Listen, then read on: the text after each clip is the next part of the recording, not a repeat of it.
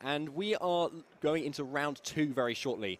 But just a quick recap on round mm -hmm. one, mm-hmm. if just in case you missed it, it was versus Matt Maynard and Thomas Cavouille of France, and Matt was able to come out with a 2-0 win with an amazing Gholdengo. I mean, Gholdengo's been the Pokemon I think that everyone's been talking about since Series 1, right? You know, one of the new Pokemon that came out in Pokemon Scarlet and Pokemon Violet, and it's just been so disruptive with that Make It Rain. If you haven't got a way to stop it, particularly as it's a spread move, it's going to do a significant chunk of damage to your Pokemon. And no wonder it's really coming back. After Series 1, it was everywhere. Mm -hmm. Then mm-hmm. everyone was kind of toying with the Paradox Pokemon and then going, right, hang on, actually, um, let's go back to the Steel and Ghost type, which is such a really strong type.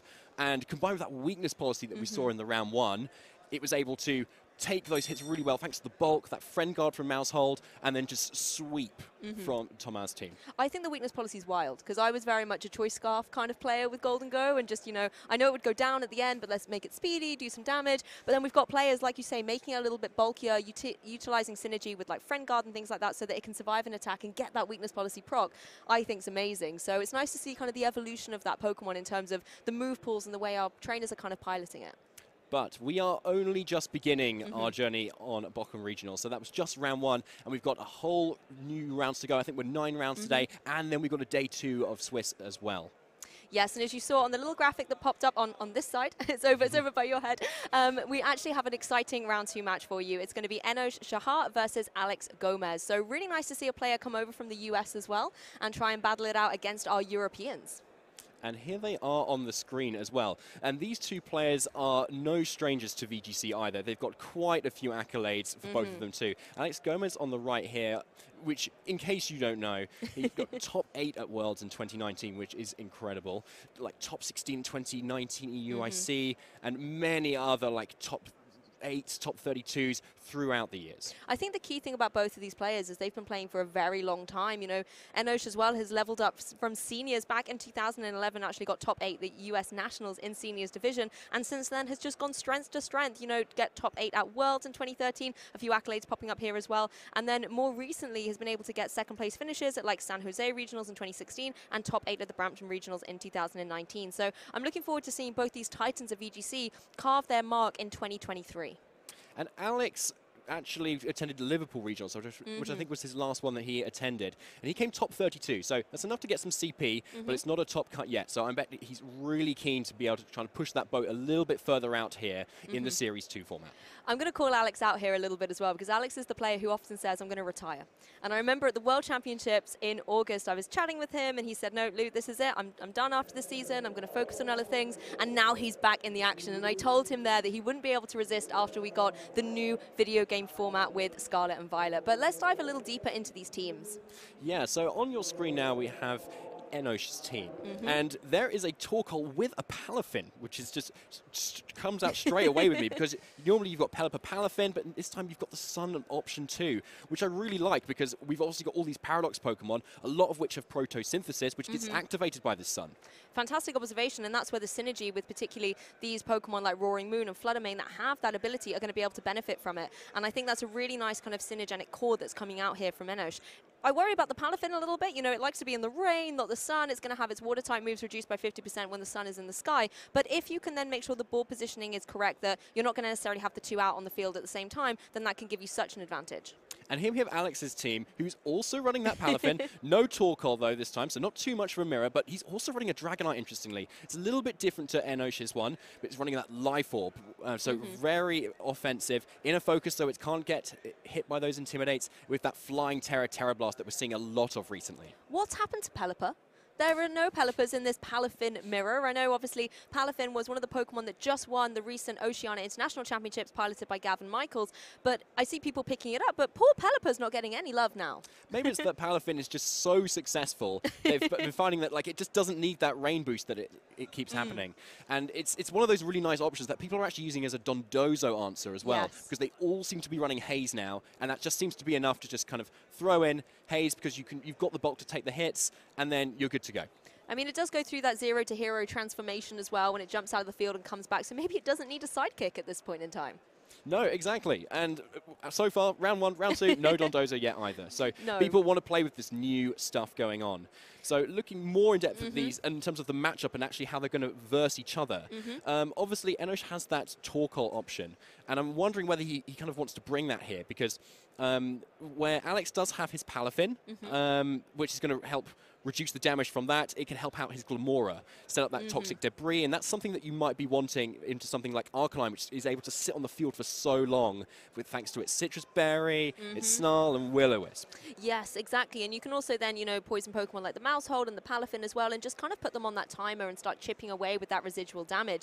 I mean, one thing that's nice as well about the Torkoal is um, there are no Pokemon in Alex's side that are going to benefit from their ability being activated, but Arcanine's one you have to watch out for. But here we go, round two is in action. That Torkoal is out on the field, paired up with the Fluttermane that's going to benefit from the sun being in its sky. There we see the Photosynthesis has activated, and its special attack will be boosted, and it has to face down against Gholdengo and Dragonite. Yeah, and that's looking pretty scary going into now, having that special attack. So you, it's like you've got that choice specs boost right now, Yes, except it's instant, and you can still switch up your moves. So it's not like Alex can go for like a defensive play to kind of get Fluttermane locked into something.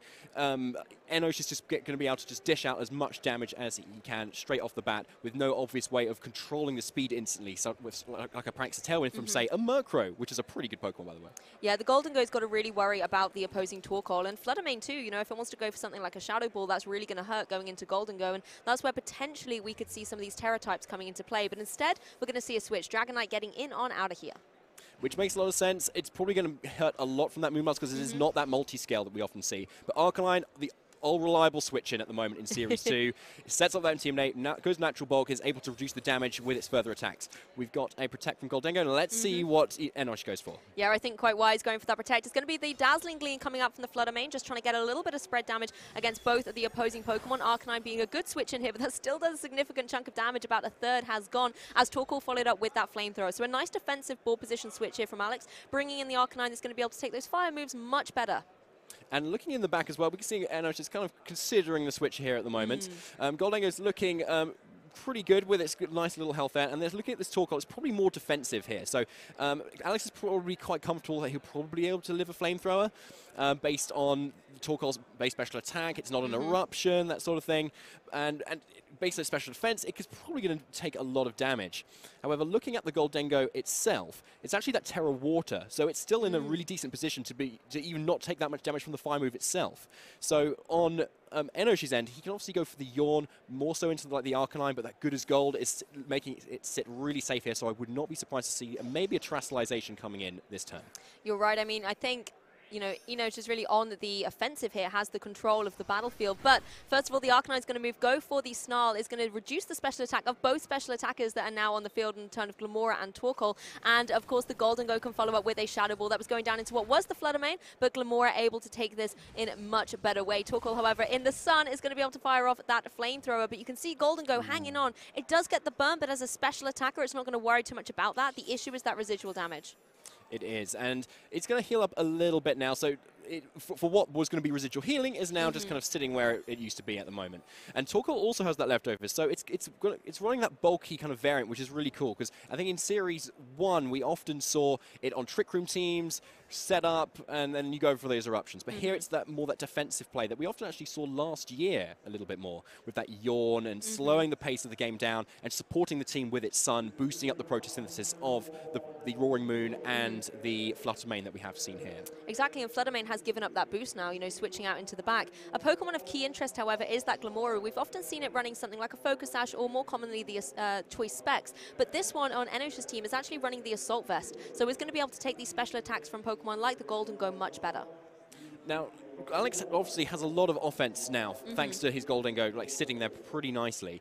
And with the terastallization ability, it's probably going to be able to take on something that Glimmora can go for. Obviously, it mm-hmm. depends on what Enosh wants to hit with this turn, because an Earth Power will KO it, but Terastallization will keep it safe. So both players still keeping on to the Terastallization, though. Yes, we haven't seen a Tera yet in this match. Gholdengo, however, is going to be the first KO for Enosh here. It's going to be able to get the knockout thanks to the Torkoal. Um, and now, you know, you're now sitting in that nice position where you've got an advantage. Torkoal going for the Yawn into the Protect of the opposing Arcanine. And I like that Protect on Alex's side. Both Pokemon on Enosh's side apply a lot of pressure. You've got things like the Power Gem or the Earth Power coming out from the Glimmora. And then, of course, Torkoal. This one's actually not running something um, that's going to be able to deal too much into that opposing Arcanine, but the Yawn is something still that you have to contend with because it's going to force you to make a switch.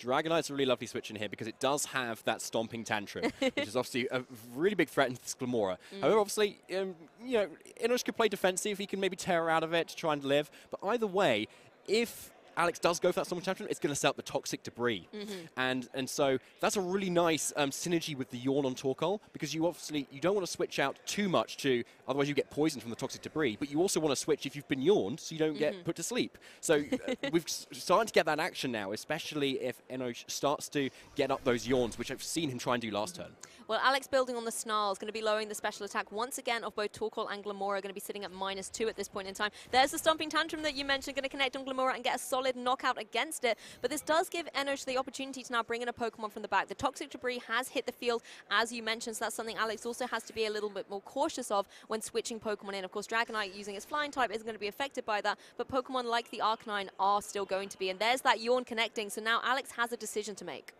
He does, exactly. And now with the leftovers Torkoal uh, healing up a little bit more, Enosh has a little bit of wiggle room to get in something a little bit more safely, knowing the Arcanine's probably going to be playing defensive next turn.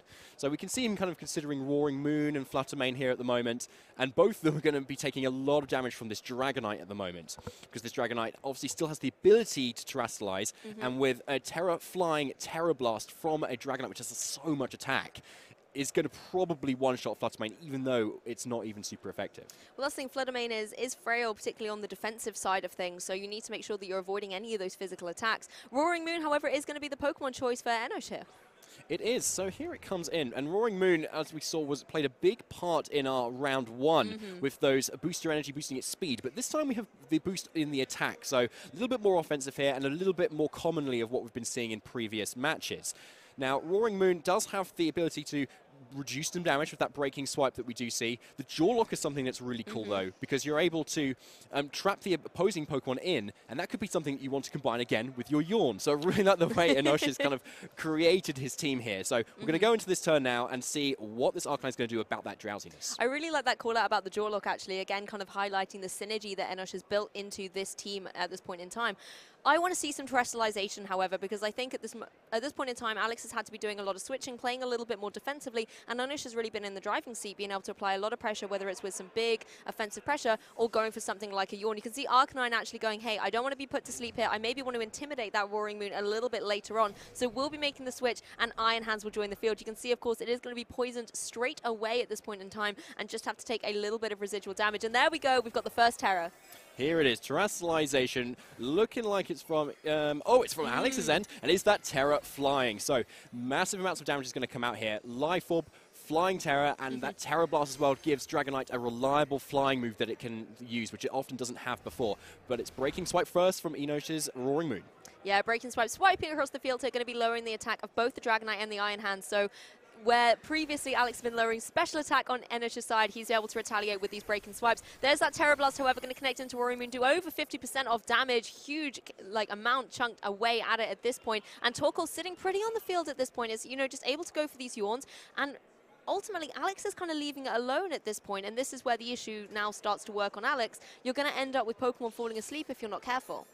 Exactly, and Dragonite does have the ability to kind of switch out here at the moment, and Arcanine is always a good switch in, yeah. especially versus into Roaring Moon, which is at the moment a physical attacker. Reduce damage with those breaking swipes and jaw locks, and keep your Pokemon around a little bit longer. Mm -hmm. Iron Hands is very physically bulky, so it's probably not going to worry too much, but I feel like that's probably the obvious switch in here. You don't have a lot to lose by just switching in the Arcanine from mm -hmm. the mm-hmm. Dragonite at the moment.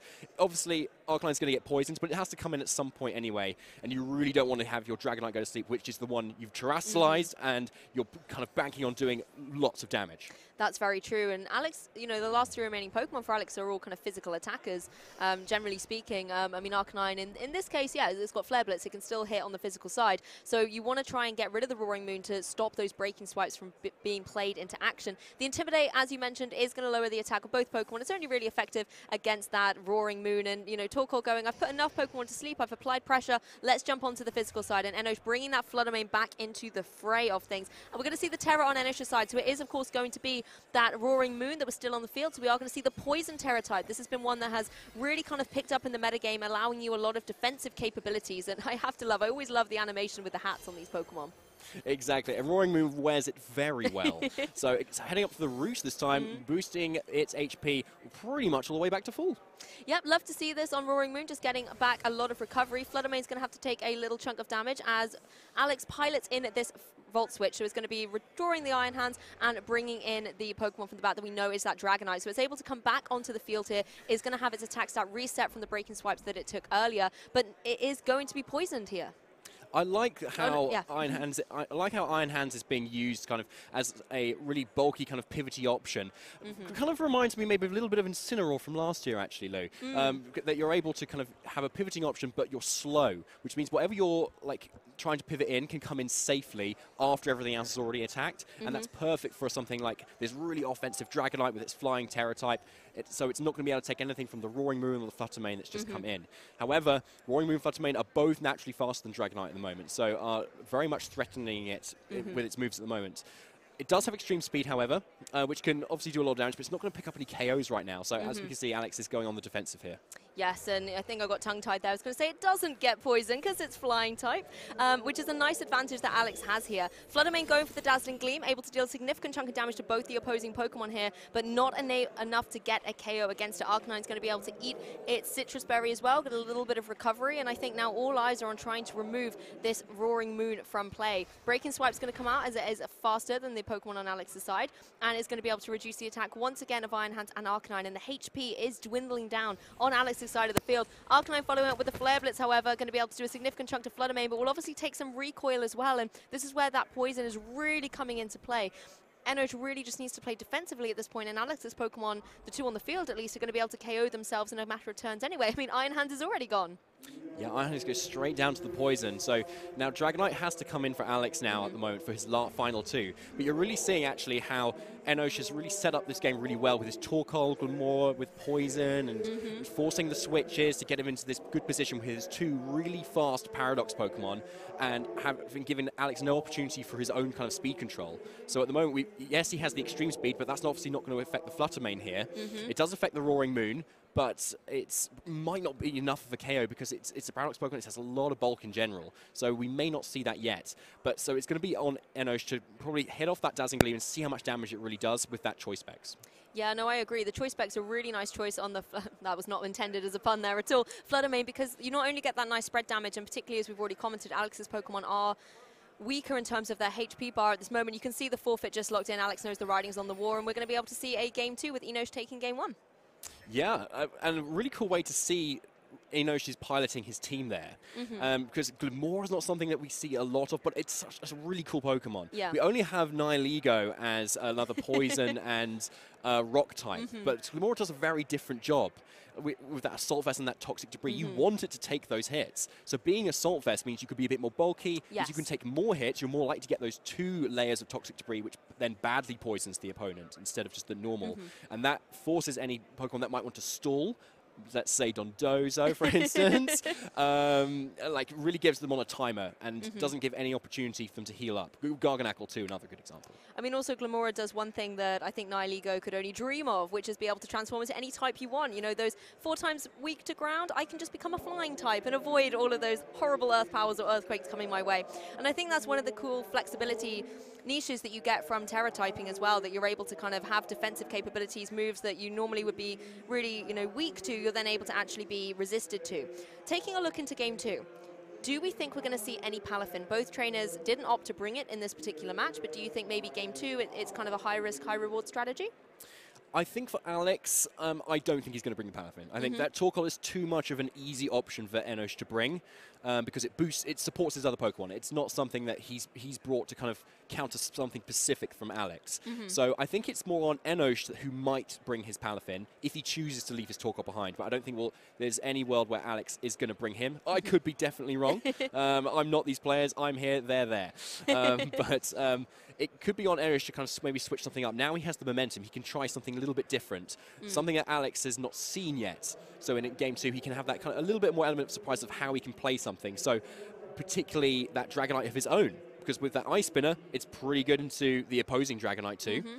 And with also having that Tera Blast, hits just very hard into the Iron Hands. Well, Torkoal's the one causing trouble, isn't it? Because if you take a look at Alex's side as well, there really isn't a lot of utility to deal with it. You mentioned earlier, you know, there's Stomping Tantrum on the Dragonite, which is great. But if you lose that Dragonite, you don't really have a way to deal with this Torkoal for super effective damage. It makes me really miss um, Pelipper around about now because I think Alex could benefit from at least having the Pelipper in the back. So when Torkoal comes out front, the sun's in the sky, you can override that. And not only does that weaken, you know, the offensive pressure that Torkoal can deal out with something like the Flamethrower, for example, you then will be able to deal huge damage with any water type move, whether it's from a Pelipper or a Palafin. But there is no Pelipper to be here, but we do have some mice on the field. It's going to be Maushold paired up with the Arcanine, and an adjustment as well from Enosh. It's going to be Glimmora out front this time, but still paired up with that wonderful Torkoal. Yeah, so we see is lead with that classic kind of let's get toxic debris early, Yeah. let's start getting those yawns, let's get you switching out and everything. Uh, whereas on Alex's end, he, I like the switch up with the Maushold there because you here we've got Super Fang as an option, which is not too common. We often see maybe Population Bomb or Beat Up to kind of combine with someone's Annihilape, but here it's the Super Fang. So you could do suddenly 50% to something, and versus the Torkoal, which was such a problem last time, that could be really huge for whatever it might be in the back. And also, Alex is kind of led with two Pokemon that don't mind kind of going down after you've kind of set something up. Like get up a snarl, then kind of switch out, which makes the switch safer. Mm-hmm. Or even if you go down, it gives you the opportunity to maybe set up with something like the Gholdengo. Because especially versus the Torkoal, as you say, Lou, mm-hmm. Palafin doesn't really want to come, come in because the- sun's up, but it's the only super effective option. So the other way is kind of dealing with Torkoal's lower special defense, and that Gholdengo with Shadow Ball could do a lot of damage, and here it comes. Yeah, Arcanine going, I'm going to save my Intimidate for later when a physical attacker's on the field and just jumps out. Gholdengo joins the fray, and I like the way Maushold is protecting here. You want to keep that Friend Guard ability active for as long as possible. Glimmora going for Mortal Spin, its signature move here is going to be able to connect onto, um, well, not obviously the Gholdengo, it's Steel type, but it's a nice Poison type move that would be able to inflict damage and also poison the opposing Pokemon. If there were any entry hazards as well, or like, you know, Leech Season play, it would get rid of those as well. Gholdengo does take a significant chunk of damage for its troubles, though. Really nice call by Enosh here, predicting that the Arcanine was going to leave and Gholdengo was going to come in. So targeting correctly there, a nice offensive play. Yeah, that's a really huge flamethrower there. Like, it suddenly just puts that Gholdengo in a really awkward spot because we saw from game one that the Glimmora outspeeds the Gholdengo and just mm. KO'd it with an Earth Power. So it's on Alex now if he wants to Terastallize into the Water type, for instance, to maybe live the Earth Power mm-hmm.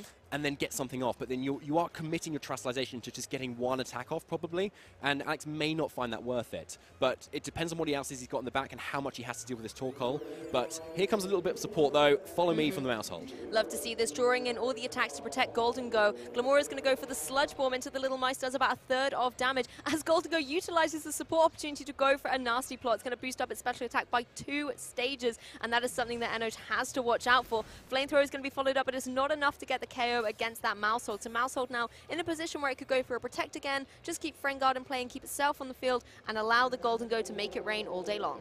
That's a massive survival on the Maushold because now you can follow me any of those annoying attacks with more at the moment, Mm-hmm. and then you can do a, probably a safe translation into the water type for Gholdengo and to save yourself from the subsequent flamethrower Mm-hmm. and dish out a huge amount of damage. As you say, make it rain will dish out huge amounts to the Torkoal, and Shadow Ball will probably one shot. So um, let's see what happens this turn. Oh, it's just going to be a double protect. I think Alex may be scouting out what Enosh wanted to do in this turn. And you can see, you know, uh, three protects actually. It's kind of maybe all eyes on the Glimmora. We're not going to see a fourth one though because we know Torkoal is slower. Glimmora was actually going for that mortal spin. So just trying to, you know, maybe get some poison down onto that opposing Maushold and just chip away at it a little bit more. Or maybe if there was a switch to catch a Pokemon here. But now going into this next turn, we know those protects have been burnt. Exactly. So I, I like the, the call from Alex there. Predicted the more defensive play from Mm-hmm. Enosh, and particularly that protect on Torkoal, which is probably exactly what Alex Mm-hmm. was wanting now. Because now a Shadow Ball into that slot looks completely unresisted unless a Roaring Moon switches in at that point, and which s- would still take a huge amount of damage from Gholdengo, which has a really big special attack stat, Mm-hmm. and it's at plus two with that, thanks to that nasty plot. Now we're going to see Maushold be able to pull off one more move. It's probably going to be that follow me, but Make It Rain, it's also going to do a, a big chunk of damage here. But I would like to see that Shadow Ball into the Torkoal for Alex because Mm-hmm. Torkoal was such an issue last game. It definitely was. And, you know, let's go for the Super Fang takedown 50% so you can guarantee a KO. But you're going to see the Glimmora go first. It doesn't get the knockout on Gholdengo, though. Alex still in here to go for that Shadow Ball that you said you wanted to see. It's going to be able to connect down onto that opposing Torkoal and remove it from the field. Oh, I saw that Earthbound, the, like the Gholdengo. I was like, no, it's going to go down. And then, like, out out it comes. Gholdengo's bulk Mm-hmm. really shining through there. Alex knows the way these Pokemon are trained. We've got open team shields, obviously, but both Mm-hmm. opponents cannot see the stats of either Pokemon. So they don't know how bulky they are, Mm-hmm. how speedy they are. So that was probably a KO Enosh was really Mm-hmm. expecting, and absolutely that did not happen. And the really key Pokemon in Torkoal has now gone down, so Mm-hmm. no more yawns for the field at the moment. You've got to credit the little mice too as well. Maushold with that friend guard ability boosting up the defenses. But I think, you know, it definitely was a team effort there. You know, the training that has probably gone into that Gholdengo paired up with the mice just allowed it to survive. Now, if you're Enosh, you've got a difficult decision to make. Who are you going to bring in, the Roaring Moon or the Fluttermane? I would say the Fluttermane, Mm-hmm. um, because you obviously do a lot of speed. You can obviously the follow me can come out first, and that Mm-hmm. can dish away any sort of dazzling gleams.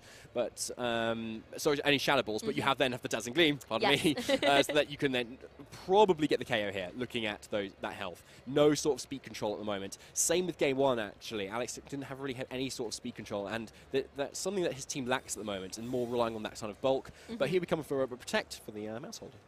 Yeah, and to be honest, a choice specs. Dazzling Gleam, I think, would be able to get the knockout on both the opposing Pokemon, so wise for a Maushold to protect here, but it might be a bit more difficult for Gholdengo to be able to survive this, even though it's not very effective. That is a Flutter Fluttermane, it is carrying choice specs, it's still going to be able to hit really hard, but I think Gholdengo's been able to do its job here, and it does allow Alex the utility to bring in a Pokemon from the back now. We know that Arcanine is there, but I feel like Arcanine isn't the Pokemon of choice at this point. You have too much pressure coming off from something like the Glimmora. Um, it's possibly going to be one of the one of the physical attackers in the back. I'd say so. And he- yes, good call. Luke. Here comes the Dragonite. So um, with at full HP, with a Life Orb and the inner focus, and still with the ability to terastallize, no doubt, um, it's still going to be able to dish out a lot of damage. And that is probably going to be be able to KO either of these Pokemon um, just with one turn at the moment. Either with that Tera Blast or the Stomping Chances into the Glimmora. However, Enosh also hasn't terastallized yet, so uh, both these players are still having to think quite a lot about uh, all the different options. Because after that terastallization, suddenly that's one thing that your opponent cannot do. So, kind of like we saw with Dynamax last year, later you leave it, still the more guessing games your opponent has to do.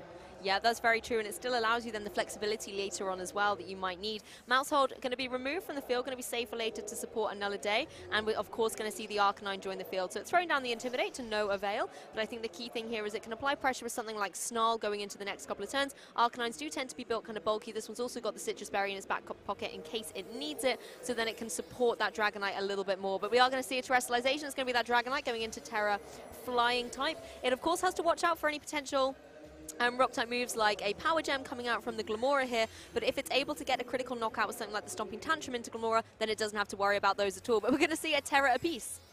Yes, so let's see if someone has really kind of called at the moment. So, oh no, it's so I thought it oh. might have been the Steel Tera on the Fluttermane to kind of take the Tera flying, but instead it's the hmm. Water type on the Glimmora. So it looks like Enosh is trying to call the Stomping Tantrum from this Dragonite. Yes, and we're going to see the Dazzling Gleam go first of all from the Fluttermane, do a huge chunk of damage to that Dragonite, despite the fact it's dropped its Dragon typing. Dragonite is going to go for that Tera Blast. It's going to be the speedier out of it and Glimmora, and that Tera Blast is going to be able to do a oh. huge chunk of damage, but it doesn't get the knockout. You see Enosh celebrating that fact because now Glimmora not only throws toxic debris onto the field, but has the utility to try and go for a move in this turn. It outspeeds the Arcanines, obviously join the field. It's going to go for that Power Gem, get the knockout as retaliation for that Tera Blast. Amazing play by Enosh here. Amazing indeed, exactly. I think Alex going for that Tera Blast there. Obviously, either called the Glimmora to switch or to terastallize, um, knowing that Enosh didn't want his Glimmora to go down to just the Stomping Tantrum. But it ends up being a quite bulky enough that it's actually able to take that really big hits instead anyway. So it ended up being like the absolutely perfect play for Enosh there. Mm-hmm. And Fluttermane gets completely away with dishing out a dish- decent amount of damage too. And because it naturally outspeeds Maushold too, um, it's looking like it's, it's very much in Enosh's favour here. Yeah, definitely. Maushold just going to protect, wants to stay on the field for a little bit longer, but it's going to be really difficult for this fire type in the form of the Arcanine to deal damage at this point in play. You know, you've got a water type Glimmora on the field as well, and there's first of all a Dazzling Gleam coming out. That would have got the KO on Maushold if it hadn't protect, just chips away at the Arcanine a little bit more. It's able to go for the Flare Blitz. Oh, I forget how low the HP was on that Glimmora. It does get the knockout, a little bit of revenge for the Dragonite, but obviously it's going to have to take a little bit of recoil as well. Enosh as well has the Roaring Moon in the back. We've already seen that. And then suddenly you're in this situation where the Fluttermane can just go for that Dazzling Gleam again. We see how speedy it is. It's going to be able to remove that Hold from play. And then it is a 2v1 down against that Arcanine. Arcanine is healing up with that little sitrus berry right now, and Arcanine is the key here for Alex Mm-hmm. because on the Maushold, all it's got is Super Fang, and in fact, actually, because I couldn't really see the gone. poison, it is gone. so uh, it's all on Arcanine here. From Generation 1, still sticking Mm. it out in 2023, but and fresh new Roaring Moon does come in actually, however. So um, it's looking like quite a lot for Alex's Arcanine to do here at the moment. It's a bit of the battle of the ages, like you said, the veteran of VGC history, Arcanine on the field versus two new faces to the metagame. And you can see Alex locking in the forfeit. The game is Enosh's, and he takes round two in a 2-0 set. Congratulations to Enosh as well. Really convincingly too. Mm-hmm. L- Kind of looking at both those teams, it really seemed like he had a kind of decent matchup as well there. He, he was able to just kind of go quite safely with both of his bulky Pokemon, that Torkoal and that Fluttermane, uh, sorry, and the Glimmora, Mm-hmm. Yeah. really kind of set up and just then get safely in with his Fluttermane. And Roaring Moon didn't even need to do much at all. It was really that offensive pressure that kind of Fluttermane was able to do. And we've seen a lot of players really have to adapt to, to Fluttermane because of that and its speed. And I think the, the lack of speed control that Alex was able to get off mm-hmm. was probably quite key in Enosh being able to just do what he wanted with that Fluttermane. Yeah, completely agree. Again, it's why I miss Pelipper because Pelipper can always go for something like a Tailwind and get the speed up on the opposing on your side of the field. One thing I have to credit though, just talking about weather, is Enosh's Torkoal. You know, not a Pokemon I was expecting to be so dominant in the meta, particularly after a Palafin win. That's a bit of a tongue twister and a half. Um, but the one thing that's really nice about it as well is obviously, like you mentioned earlier, it will activate that Protosynthesis ability on Pokemon like Roaring Moon and on Fluttermane. And if you don't have the sun in the sky, you can activate that with booster energy. But the fact that both those Pokemon don't need it means they're free to go for some, I would say, maybe better item choices to allow them more flexibility. The choice specs on Fluttermane in particular was very strong. It was, and it was able to get huge KOs, and you can go for like a resisted move and still know you're going to pick up something like Yeah. that Gholdengo at the mm-hmm. end.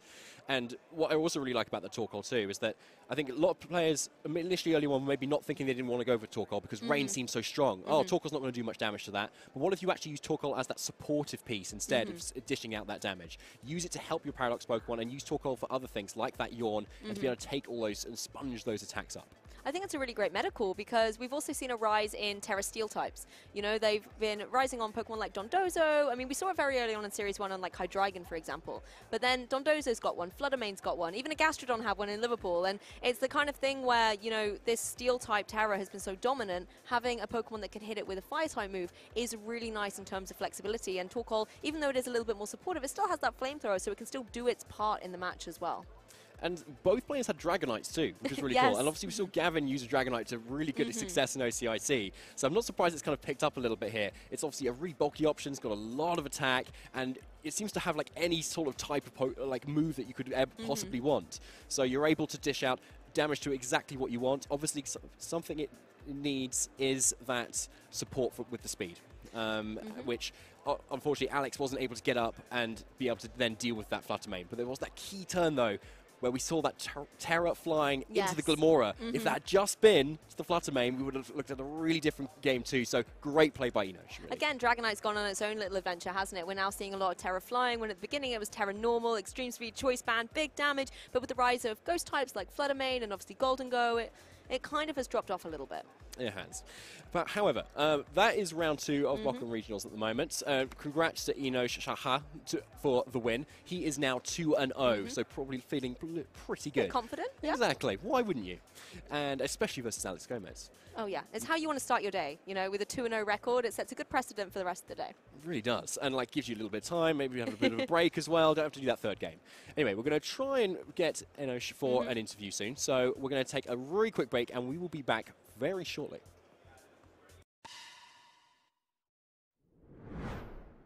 And welcome back, everybody. We are here with the winner of round two stream match, Enosh Shachar. And wow, what a way to start the day! Yeah, uh, this was my first set of the tournament, which is pretty terrifying because uh, my round one opponent, uh, unfortunately, they got sick a few days earlier. Yeah, so when everyone else was playing and getting warmed up, I was folding my team sheet so I could carry with it, carry it with me the rest of the day.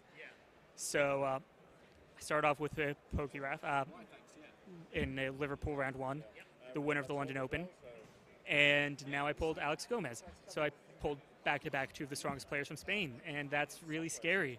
I mean, it's not an easy feat at all. Um, uh, we definitely take those with any unintentional round one buys. but I think being able to go up against the caliber of player of which Alex is, you, you are yourself as well, but being able to go up, I, I believe you've mentioned uh, you're close friends with Alex as well. Alex is, I've loved Alex since like 2010, 2011, just absolutely adore him.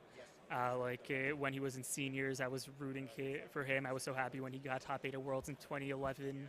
Uh, 2012, uh, I was like rooting for all the seniors that year. Then when he went to Masters, and uh, him and Gavin both were just kicking, kicking ass, honestly. Yeah, uh, and they were just incredible. And him and him and Gavin, and now seeing that Gavin just wins OCIC, and I kind of like associate the two of them as like some of the greatest ever from the same year.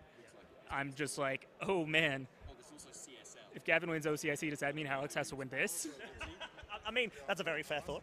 um, but of course, we did see you go up against Alex um, in what was a very interesting match, to say the least. Um, a couple of key highlights to call out. I, I think um, quite a few, actually, if I'm completely honest. Yeah. Uh, like, the turn one, game two was honestly the game winning play uh, when I got the flamethrower off against the Gholdengo.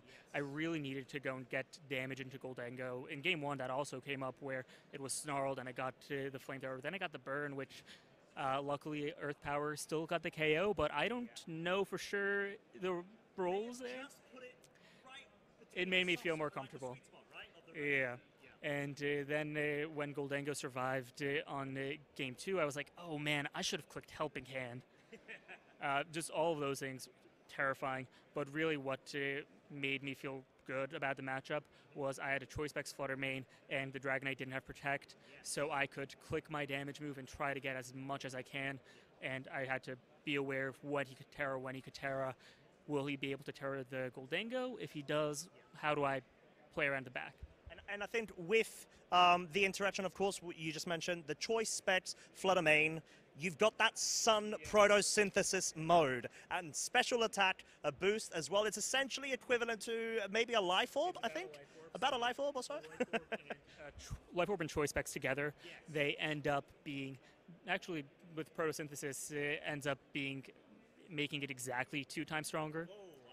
So, so, it's a free Tera type. Uh, pretty much. It's like, what if I, it's, yeah, it's insane. So I go and have my calcs, and I'm like, what if I do double the damage? What if everything is super effective? what if I just keep on stacking all of the different multipliers? Like, we, we could do that, right? I, I also have Helping Hand on the Torkoal, so yeah, uh, that's very fun. And uh, honestly, like, uh, I've it lets me go and invest more in defensiveness on a lot of my Pokemon, like the Roaring Moon and uh, the Flutter Mane. Both deal so much damage that I now have the luxury which it really is a luxury to go and put uh, things into bulk. And my whole team was, I'm really comfortable with bulk, playing slow.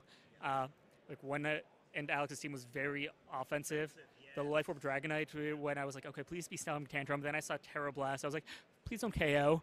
and I was like, I was like, Glimmora has a lot of stats. It should survive. But then I was like, so does Dragonite It does. It is a bit of a pseudo legendary, and we know that they are uh, blessed with very good stats as well in bulk, right? And even offensive presence, which you know we've seen. Roaring move, uh, Rune, obviously a. Um, a past type variant of present day Salamence, right? And just really putting in the work. But something I did very want to quickly point out uh, your right? We, we briefly spoke about it. Assault Vest, but also Mortal Spin, its signature move. So I saw Al- Aaron Traylor and Yuki's team from OCIC. I was like, Mortal Spin is so cool.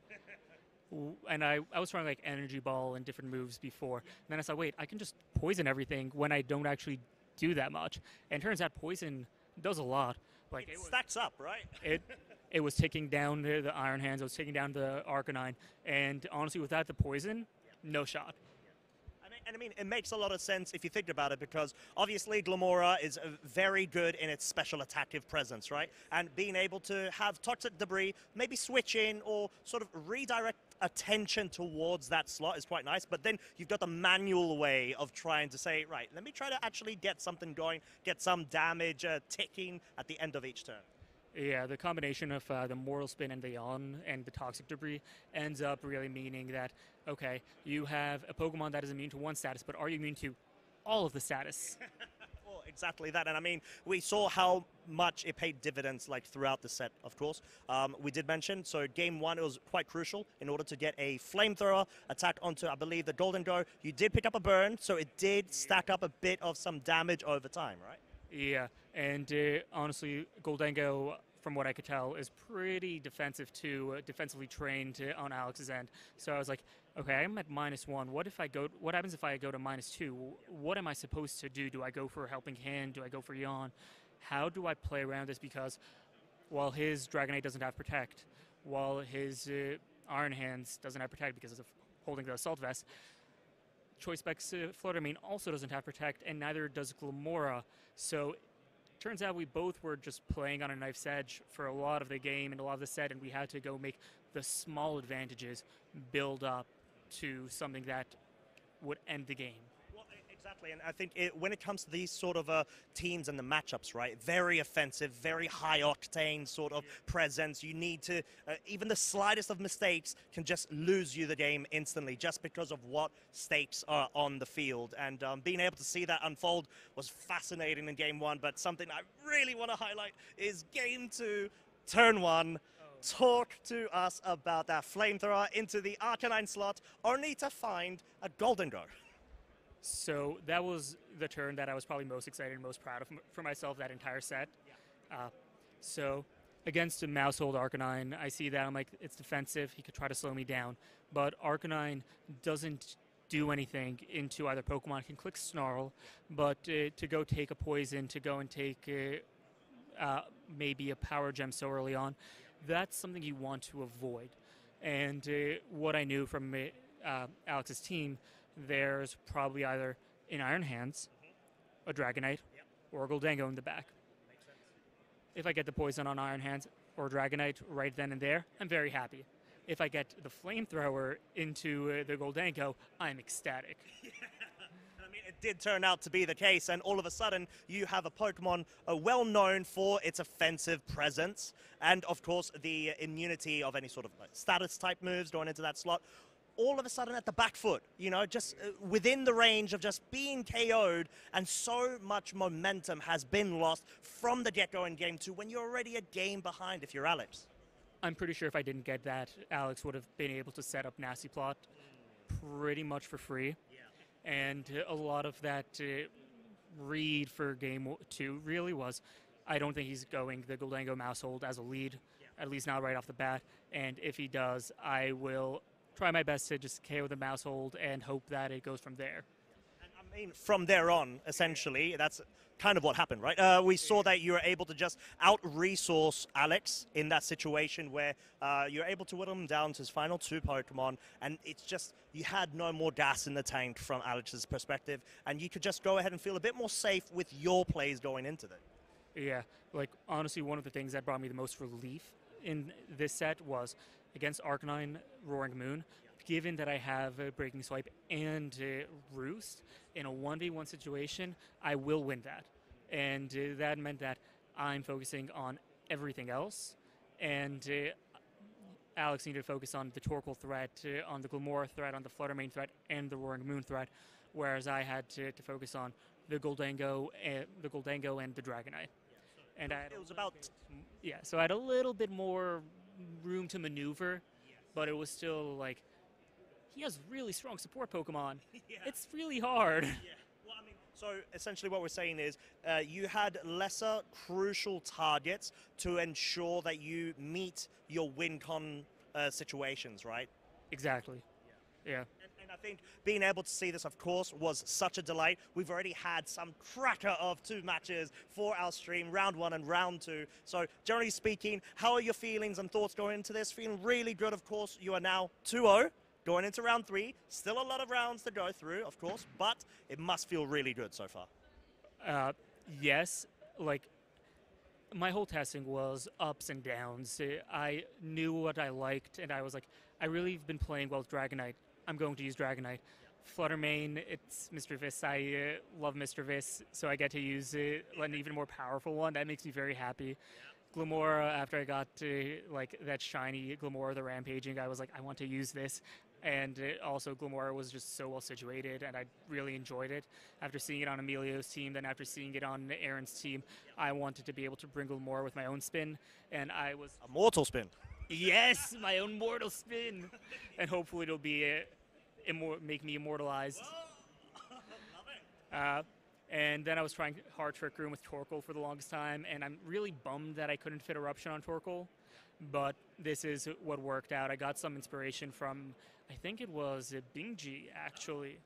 Uh, he was using a pretty aggressive uh, team with uh, Drought Torkoal with uh, pretty much this moveset. He also managed to fit Tyranitar, and uh, I can't given Dragonite uh, and multi-scale, but he managed to fit that. And I was like, this is, looks so cool. And I, I think, like you said, Tyranitar, it'd be a bit too uh, counterproductive, uh, uh, let's say, in the circumstances of how you've gone ahead and actually uh, configured your team. Um, so I would say very quickly as well, um, of course, you're 2 0, it's all great. Are you excited about the current format? I mean, you're here right now, you're playing really well, looks like you're on form. Uh, is this really such a great format to come straight into? Series 2 was the most stressful event that I've played in since looking at 2018. I could not even bring myself to play 2018 because of how stressed that made me. And just, I brought myself over to show up to here because I was feeling good in my practice. But this format had absolutely terrified me. Uh, there's so many scary teams and archetypes, like from the Maushold to Gholdengo setup to now Maushold Annihilape to Dondozo to uh, Fluttermane to Rain, and all of those things just are so scary. A hard Trick Room with the Indeedee Armarouge, and it's like all these have such high usage. They're all really good, and every time I try to beat something, I lose to something else, and I just feel so lost. But the formats, the Pokemon's fun. Terastallizing is so much fun. I'm uh, kind of hoping for Series 3 to add even more chaos, and hopefully that will uh, let me break through the chaos. A bit of a chaotic trainer over here from the seams. Like, uh, I think I prefer chaotic neutral with my building uh, overall. Naturally. Maybe it goes a, a little bit into chaotic evil, but uh, yeah, the I like being able to take the pieces in the format when it has this chaos and try to identify tweaks that pan out. Like shout outs to uh, all my friends that did excellent at uh, OCIC, Gavin, Tub Nation, all of them.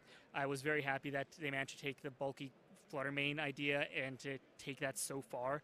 And that made me very happy and very proud for them.